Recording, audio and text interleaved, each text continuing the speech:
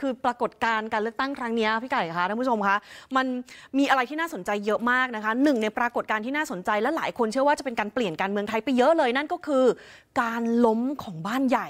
เรียกได้ว่าเที่ยวนี้ล้มระเนระนาดกันเยอะเลยนะคะ ลองไปดูค่ะประมวลดูมีบ้านใหญ่ไหนบ้างที่ล้มจากกระแสก้าวไกล ไปดูจังหวัดแรกนะคะ สมุทรปราการค่ะ สมุทรปราการแน่นอนบ้านใหญ่อัศวะเหมนะคะ คือสอสอในกลุ่มเนี่ย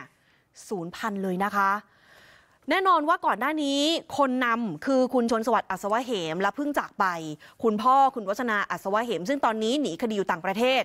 ก็มาดูแลแทน แต่ปรากฏว่า อัศวะเหมในนามพักพลังประชารัฐ สอบตกทุกเขตนะคะ อีกจุดหนึ่งค่ะ คุณปลื้มที่ชนบุรี ปรากฏว่าบ้านใหญ่คุณปลื้มเนี่ยเที่ยวเนี้ยเขาย้ายกลับไปอยู่กับพักเพื่อไทยใช่ไหมคะครับล้มหมดเลย คือในตระกูลคุณปลื้มเนี่ยนะคะ ใครส่งใครลงเนี่ย ไม่ได้เลย รวมไปถึงภรรยาคุณสนธยาคุณปลื้ม คุณสุกุมลคุณปลื้มอดีต รัฐมนตรีอะก็ไม่ได้เหมือนกันนะคะ แพ้เหมือนกัน ระยองค่ะ ตระกูลปิตุเตชะ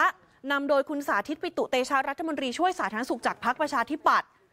ก็ล้มหมดเหมือนกันนะคะ ตัวคุณสาธิตเองก็ยังแพ้เลย คุณสาธิตลงสมัครในเขตที่ 2 ค่ะ แพ้ให้กับก้าวไกลแล้วแพ้มากกว่า 10,000 คะแนนนะคะ คือแลนด์สไลด์เนี่ยกวาดยกจังหวัดทั้ง 4 เขตเลยนะคะ ของพรรคก้าวไกลเนี่ย4เขตระยอง โคราชตระกูลรัตนเศรษฐ์ค่ะนำโดยคุณวิรัตรัตนเศรษฐ์รองหัวหน้าพักพลังประชารัฐนะคะ จากเดิมเนี่ยพลังประชารัฐมีสส6คนอืมล้มเหมือนกัน ล้มเหมือนกันนะคะ แต่ว่าคะแนนก็กระจายกันไป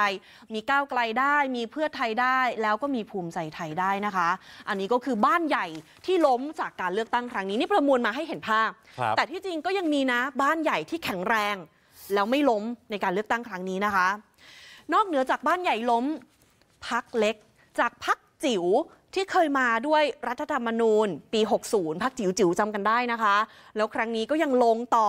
ปรากฏว่าจากพรรคจิ๋วกลายเป็นพรรค ปิ๋ว มีใครบ้างลองไปดูนะคะ มีพรรคไทยภักดีนี่เพิ่งก่อตั้ง มีพรรคไทยอ่าไทยศรีวิไลย์นี่ชัด ไทยศรีวิไลย์คุณเต้มงคลกิตติ์ สุขสินธารานนท์ครับครั้งที่แล้วเนี่ยก็เป็นพรรคจิ๋วนะ ปรากฏว่าครั้งนี้สอบตกนะคะ ไทยภักดีคุณหมอวรงค์เดชกิจวิกรม